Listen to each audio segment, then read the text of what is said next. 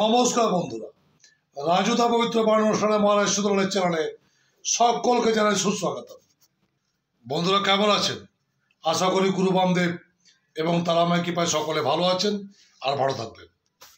আপনাদের ভালো থাকাটাই যে আমার একমাত্র শুভকামনা। বন্ধুরা, চলুন একসঙ্গে বলে উঠি।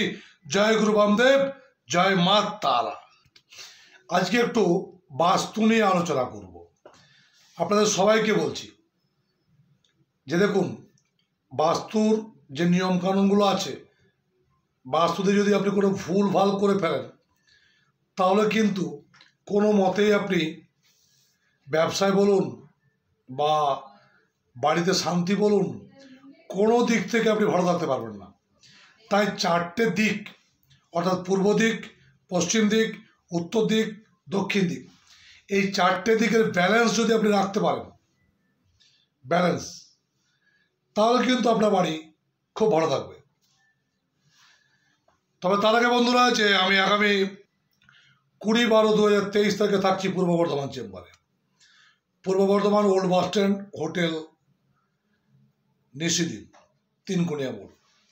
এবং আগামী একুশ বারো দু হাজার তেইশ তারিখে থাকব আরামবাগ চেম্বারে। আরামবাগ বাসুদেবপুর মোড়, হোটেল লাইট হাউস।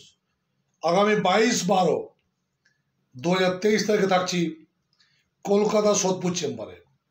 এবং আগামী তেইশ বারো দু হাজার তেইশ থাকব পূর্ব মেদিনীপুর মেচেদার চেম্বারে এবং সাতাশ বারো দু হাজার তেইশ তারাপীঠ চেম্বারে। যারা ভাবছেন বিভিন্ন সমস্যা নিয়ে রয়েছেন, সমাধান চাইছেন, প্রেমে বাধার থেকে শুরু করে ব্যবসায় উন্নতি হচ্ছে না, বিভিন্ন জায়গায় আপনি সমস্যায় পড়ছেন, ছেলে মেয়ের বিয়ে হচ্ছে না ঠিক টাইমে এই যে সমস্যাগুলো, যদি ভাবছেন রিকভারি হতে চাইছেন, তাহলে বলব আসুন চেম্বারগুলোতে বুকিং করুন এবং বুকিং করে কনফার্ম করে অবশ্যই আসুন। যারা দূরে রয়েছেন তাদেরকে বলছি, আপনারা অনলাইন ফেসিলিটি রয়েছে। আমার কনসালটেশন যে ফিজটা সেটা অনলাইনে পে করে আপনি অনলাইনে আমার সঙ্গে সরাসরি বাই হোয়াটসঅ্যাপ কলিংয়ের মাধ্যমে কথা বলতে পারবেন ভয়েস কল বুকিং সংখ্যা খুবই সীমিত, কুড়ি জনের বেশি আমি কিন্তু দেখি না। ক্লায়েন্ট অ্যালাউ করে না। যদি আজকে আপনি বুকিং না করেন হয়তো দেখা যাবে যে আপনাকে তিন মাস ওয়েটিংয়ে থাকতে হবে। আর আপনার কাজটা হয়তো খুব জরুরি পড়ে গেছে, তাহলে আপনাকে বুকিং তাড়াতাড়ি করতে হবে। কারণ সব জায়গাতেই বুকিং রয়েছে, একটা চেম্বার করতে হয় আমাকে। দ্বিতীয়ত অনলাইনে কথা বলতে হয়। তৃতীয়ত আপনাদের, আপনারা কী করে ভালো থাকবেন? সেই চেষ্টাও আমাকে করে যেতে হয়। তো বন্ধুরা, আগামী আঠাশ বারো দু হাজার তেইশ তারিখে আবার থাকব তারাপীঠ মহাশ্মশানে হোম ক্রিয়া দিতে রত। তো দেখুন, বাস্তুতে চারটে দিককে যদি আপনি ব্যালেন্স তৈরি করতে পারেন ব্যালেন্স ঠিক রাখতে পারেন, চারটে দিকের, তাহলে কিন্তু আপনি ভালো থাকতে পারবেন। কেমন করে? পূর্ব দিকে যদি আপনার বাড়িতে কোনো জানলা না থাকে, তাহলে আপনি এক কাজ করুন, পূর্ব দিকে আপনি একটা উদীয়মান সূর্য, অর্থাৎ সূর্য উঠছে, এরকম একটা ছবি নিয়ে এসে টাঙিয়ে দেন পূর্ব দিকের দেওয়ালে। আর যদি জানলা থাকেও, তাতেও বলছি, পূর্ব দিকের দেওয়ালটিতে আপনি একটা উদীয়মান সূর্য সূর্য ভোরে উঠছে। সেই একটা সিনারি পূর্ব দিকে দেখবেন জল যেন না থাকে। গাছপালা থাক, গাছপালার উপর থেকে সূর্য উঠছে। মানে পেছনে দেখা যাচ্ছে বা সূর্যকে দেখা যাচ্ছে। গাছপালা হবে। কখনো যেন জল না থাকে। ছবিটি এভাবে আপনাকে করাতে হবে বা ছবিটা আপনি আঁকিয়ে নিতে পারেন পেনটাকে দিয়ে। সূর্য উঠছে, বিভিন্ন রকম গাছপালা রয়েছে, বাঁশ গাছ রয়েছে, সূর্য উঠছে। আশা করি ছবিটা আপনি বুঝতে পেরেছেন। পূর্ব দিকে কিন্তু জল থাকবে না। বাঁশ গাছ যে কোনো গাছ, ছবি রাখুন এবং সূর্য উঠছে, এই ছবি রাখুন।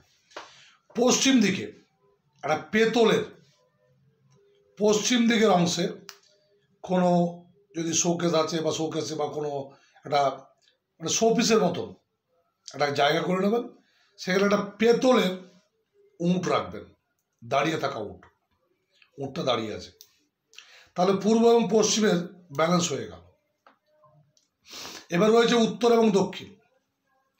উত্তর দিকের অংশে, উত্তর দিকে যে স্পেসটা রয়েছে আপনার বাড়ির, সেই জায়গায় পেতলের বা ব্রাশের, পেতলের একটা কুবেরের মূর্তি রাখুন। ব্যালেন্স রাখার জন্য। এবং দক্ষিণ দিকের দেওয়ালে লাল রঙের একটা স্বস্তিক অবশ্যই আঁকবেন। স্বস্তিক আঁকার সময় এই ভুলটি করবেন না। যেমন ধরুন, আপনি করলেন প্রথমে প্লাস এই যে প্লাস করছেন, এই প্লাসে কিন্তু একটা ব্যাপার রয়েছে। আমার কাছে কোনো নেই যে আমি আপনাকে বুঝিয়ে বোঝাবো। ধরুন এই যে প্লাস করল, এই যে দাগটা দিলাম, একটা মোটা দাগ, ধরুন এটা দাগ। আবার যখন আমি এই দিক থেকে প্লাস করছি এইখান থেকে এসে এই জায়গায় দাঁড়াবেন আপনি, তারপর আবার এইখান থেকে নেবেন, টানবেন। অর্থাৎ ছেদন হবে না।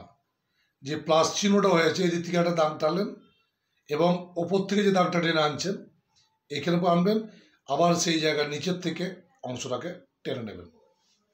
তারপর এটা এমনি, এটা এদিকে আর এটা এদিকে আর ওটা উপর দিকে। সবসময় এইভাবে স্বস্তিক চিহ্নটা আঁকবেন।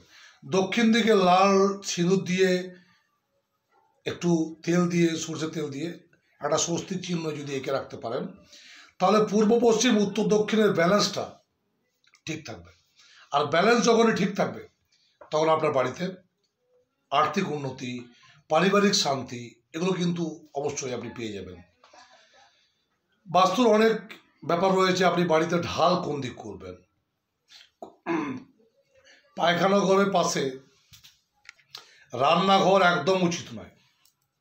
অথচ দেখুন, আপনি ফ্ল্যাটে আছেন, দেখুন পায়খানা ঘরের পাশেই রান্নাঘর। তো এই যে ভুলগুলো, এই যে ভুলগুলো বললাম, পায়খানা ঘরের পাশেই আপনার রয়েছে রান্নাঘর। ঠিক মানে ঠাকুরের স্থান আছে, তারপরেই একটা দেওয়াল আছে। দেওয়ালের পরেই আপনি রান্না করছেন বা কিচেন রুম রয়েছে বা আপনার টয়লেট রয়েছে। মারাত্মক ভুল। আপনার জীবনে কখনোই আপনাকে উপরে উঠতে দেবে না। তো এই যে ব্যাপারগুলো, আপনি কুয়ো করবেন কোন জায়গায়? কোন দিকে গর্ত করা উচিত নয়। আপনি যখন বাড়ি তৈরি করছেন, তখন তো একটা ইঞ্জিনিয়ারের প্ল্যান নিচ্ছেন।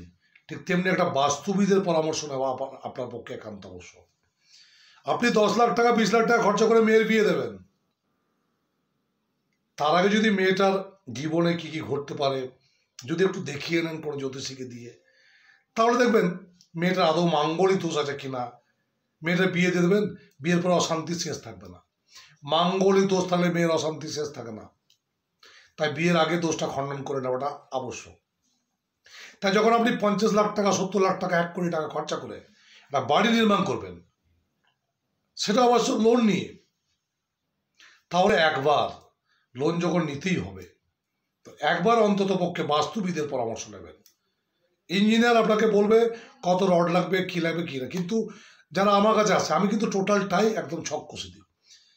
কত সেন্টিমিটার রড লাগবে, কোন জায়গায় কী বিম করতে হবে, কোন দিক দিয়ে বিম উঠবে, কোনখানে কী হবে সবটাই বলা যেতে পারে। ইঞ্জিনিয়ারিং প্ল্যান থেকে শুরু করে সেই প্ল্যানটাই কিন্তু সবাইকে ওরা মানে পৌরসভা বলুন মিউনিসিপ্যালিটি বলুন বা আপনার পঞ্চায়েত এলাকা বলুন, যে কোনো জায়গায় যদি আপনাকে দেখাতে হয়, আপনি ওই ছকটি দেখালেই কাজ হবে। তাহলে আপনি যদি প্রথমে আমাদের পরামর্শ নেন, বাস্তুর পরামর্শ, দেখুন, ঘরের ঢাল কোন দিকে হবে, ঘরের কোন দিকে আপনি পায়খানার মানে পাইপটা লাগাবেন, কোন দিকে গর্ত করা যাবে না, কোন দিকে মাথা দিয়ে শোবেন, বাচ্চা কোন দিকে মুখ করে পড়বে, তার ভালো পড়াশোনা হবে কি করে, এগুলো জানতে অবশ্যই জ্যোতিষের পরামর্শ আগে নিয়ে নেবেন জ্যোতিষ, তান্ত্রিক এবং বাস্তু, এই তিনটি সাবজেক্ট মিলেই কিন্তু একটা মানে ভান্ডার আপনাকে ভালো থাকার চাবিকাঠি হচ্ছে জ্যোতিষ, তন্ত্র, বাস্তু। জ্যোতিষ মতো স্টোন পরে নিলেন, আর আপনার বাস্তুতে প্রচণ্ড ভুল আপনার কোনো কাজ হবে না। আপনার মেয়ের বিয়ে দিয়ে দিলেন, অথচ মাঙ্গলিক দোষ রয়েছে। আপনি দোষ খণ্ডন করাননি। আবার ডিভোর্স চলছে মানে ঝুট ঝামেলা, অশান্তি লেগেই আছে, মেয়ে শান্তিতে নেই ঝগড়া ঝাঁটি চলছে, এগুলো হতে হবে। তো এগুলোর থেকে যদি পরিত্রাণ পেতে চাইছেন, ছেলে মেয়ে কী করে সুখে থাকবে, ছেলের কেরিয়ার কী করে ভালো হবে? দেখুন, বাচ্চা জন্ম নেওয়ার পর থেকে বার্থ সার্টিফিকেটে নাম চেপে যায়। আপনি যখন মানে ডিসচার্জ হবেন, তখনই কিন্তু আপনাকে মানে ওটে আপনার হসপিটাল থেকে ডিসচার্জ করার সময় আপনাকে নাম দিতে হবে বাচ্চার, এখন সিস্টেম আর যখন আপনার বাচ্চার নাম রাখলেন, সে নামটি রাখতে আপনাকে অবশ্যই জ্যোতিষীর পরামর্শ নেওয়াটা আবশ্যক। যদি জ্যোতিষীর পরামর্শটা নিয়ে আপনি নামটি রাখেন, তাহলে সেই ছেলেটিকে নিয়ে জীবন কোনোদিন আপনাকে ভোগ করতে হবে না। ছেলেটির চাকরি নিয়ে ভোগ করতে হবে না। আর আমরা কি করি সাধারণত? ছেলে মেয়েকে ব্যাগ দিচ্ছি, পড়াচ্ছি, সবই করছি মাস্টার দিচ্ছি, সবই দিচ্ছি, সব দিকে আপনি ইনভেস্ট করেছেন, কিন্তু ছেলেটির পেছনে কোনো ইনভেস্ট আপনি করেননি। তাই আপনার ছেলে পড়াশোনা করছে না, ছেলে একসময় খারাপ পথে যাচ্ছে, নেশা করছে, তখন আপনি আসছেন। বলো না, যে মানুষ রোগ হলে ডাক্তারের কাছে যায়, আর সব শেষ করে জ্যোতিষীর দরবারে আসে। শত্রু থেকে পরিত্রাণ পেতে আপনি যে কোনো রকম ব্যাপার বলুন না কেন। বাস্তু, শত্রু কেরিয়ার বিদ্যা, বিবাহ, ব্যবসা, প্রেম থেকে বিচ্ছেদ হয়ে যাচ্ছে মানে প্রেম করছেন, কিন্তু বারবার কেটে যাচ্ছে। সেটা বিয়ে পর্যন্ত পৌঁছাচ্ছে না। এই পৌঁছাচ্ছে না কেন? এই প্রশ্নের উত্তরটাই আপনি আমার কাছে পাবেন। তাই অবশ্যই আসুন। আগামী কুড়ি বারো দু হাজার তেইশ থেকে থাকব পূর্ব বর্ধমান চেম্বারে। আগামী একুশ বারো দু হাজার তেইশ তারিখে আরামবাগ চেম্বারে। আগামী বাইশ বারো দু কলকাতা সোদপুর চেম্বারে, তেইশ বারো দু হাজার তেইশ মেচেদা চেম্বার পূর্ব মেদিনীপুর হোটেল হিন্দুস্তান, একদম বাস স্ট্যান্ডের লাগোয়া। এবং সাতাশ বারো দু হাজার তেইশ তারাপীঠ এবং আঠাশ বারো দু হাজার তেইশ তারিখে তারাপীঠ মহাশ্মশান হোমপ্রিয়াদি। তো যদি আপনি একবার চলে আসেন চেম্বারে, তাহলে তো আপনি এই কাজগুলো করতে পারবেন, একবার রিলিফ হয়ে যান। দেখুন, ফোড়া হয়েছে হাতে আপনার। ফোড়াটা কেটে বাদ দিয়ে ওষুধ লাগাবো সেটা ভালো হবে? নাকি ওপরে ওষুধ লাগাবো সেটা ঠিক হবে?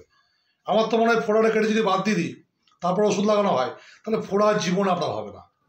আর যদি ওপরে ওষুধ লাগানো হয়, তাহলে ফোড়া কিন্তু একদিন আবার চাড়া দিয়ে উঠবে। তা কী চাইছেন জীবনে? জীবনে যদি একবার সমস্যা সমাধান চাইছেন, তাহলে কোনো চিন্তা না করে, কোনো দ্বিমত না করে আপনি আসুন। আসবেন, চোখের জল নিয়ে আপনাকে বাড়ি যাবেন আপনি হাসি মুখে এটুকু চ্যালেঞ্জ দিয়ে বলতে পারি। একশোটা বান টুকটাক কালা জাদু, যাই করুন না কেন আপনার উপর। আপনার বাড়িকে চালান করে দেখ। সমস্ত দায়িত্ব আমার রইল। চ্যালেঞ্জ দিয়ে বলছি, মা তারার কৃপা, গুরু বামদেব কৃপায় এটুকু আশা করে নিশ্চয় শিখেছি। আসুন, যারা দূরে রয়েছেন তাদেরকে বলছি আপনারা অনলাইন কনসাল্ট করতে পারেন। তবে সেখানেও লাইন রয়েছে। হড়বড়ি করবেন না। হড়বড়ি করলে গড়বড়ি হয়ে যাবে। একটু সময় দেবেন। কারণ আমার ভিডিও বানাতে হয় আপনাদের জন্য। তারপরে চেম্বারও করতে হয়, আপনাদের কাজগুলোও করতে হয়, অনলাইনে পার্সেলও করতে হয়, অনেক কাজগুলো থাকে, তার জন্য আমাকে অ্যাসিস্ট্যান্ট রাখতে হয়েছে। আমার ফোনগুলো ধরবে অ্যাসিস্ট্যান্টরা তাদের ফোন সকাল দশটা থেকে রাত্রি দশটা অবধি খোলা। আপনি ফোন করে বুকিং করে নেন। Eight three seven two zero nine eight one four zero seven seven nine seven nine six seven two two five এবং eight three nine one nine six nine five six seven ভালো থাকবেন। আসুন, বাস্তু নিয়ে consult করতে বা যে কোনো বিষয়ে কনসাল্ট করতে আপনার ম্যান অফ অ্যাস্ট্রোলজি জ্যোতিষ তান্ত্রিক বাস্তুবিদ মহারাজ সিদ্ধুলাল ভালো থাকবেন।